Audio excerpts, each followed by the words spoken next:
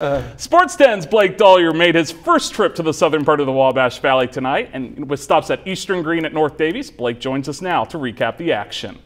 Thanks, Marty. And I'll tell you what, those hills and just the sunset over them, oh my goodness, it's absolutely gorgeous down there. But that's enough talk about that. North Knox, they've got some high expectations this season, and they'd be the first to tell you that they didn't play so hot in the week one loss at Sullivan. The Warriors looking to bounce back tonight at Eastern Greene. They did so right out of the gates, folks. You got to check this out.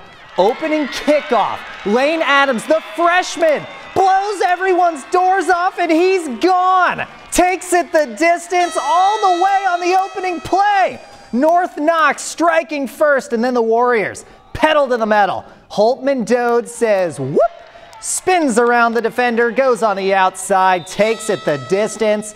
And folks, it doesn't stop there. How about that ground game for North Knox? Rhett Sharon with a handoff, making the defense pay, blows by all 11 guys, kiss it goodbye. He says, I'll see you in the end zone. North Knox dominating. Now, if you can do it on the ground, why not through the air as well? Mason Lyons heaving it up, and it's caught.